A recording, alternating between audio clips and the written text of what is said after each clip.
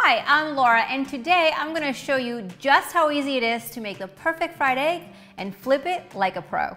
Here are some quick tips to make this whole egg frying and flipping successful. Let's talk about the pan. For the fried eggs, you want a small 7, max 8 inch frying pan.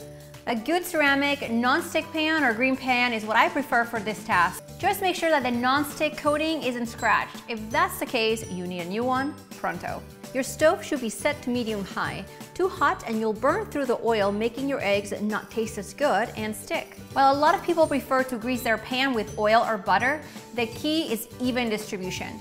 If you really want to get a good flip, a nice layer of spray is definitely the way to go. Oh, and I've tried every spray on the market and essentially they all performed as well. What didn't perform at all are the type where you refill the container. You want to crack the egg right in the middle of the pan if you're cooking just one. Cooking two or three, make sure you don't take too long to crack one after the other into the pan since you want the egg whites to cook evenly. Once the base is mostly white, I like to give the egg a good shimmy shake.